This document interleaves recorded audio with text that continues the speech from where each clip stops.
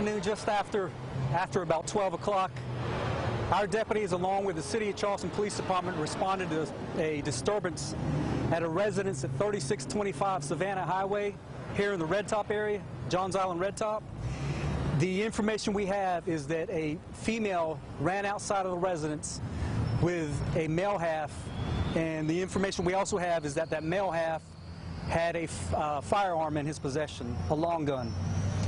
Um, at some point, the female was brought back inside of the residence with a male subject, and uh, we responded our units along with City of Charleston police officers.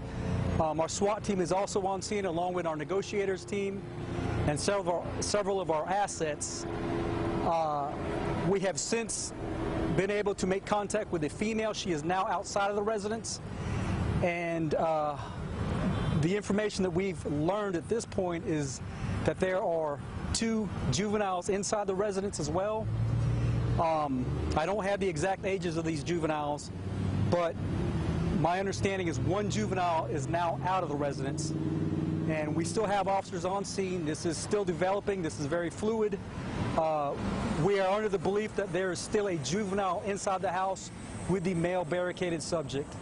As a result of this, we've completely shut down Savannah Highway around this area. Um, we are rerouting all northbound and southbound Savannah Highway traffic up and down Main Road and through Bees Ferry, trying to get that flowing uh, as much as we can. Um, we have cautioned the general area to stay away from this location. The surrounding businesses have also been cautioned. We've, we've uh, to the best of our ability, controlled access to and from these surrounding businesses. The woman and one child are no longer in the home, just to verify, and you believe the man... The adult, yes, the adult woman and the child, one child is out of the residence. It is our belief at this time that we still have one juvenile inside the house with the male.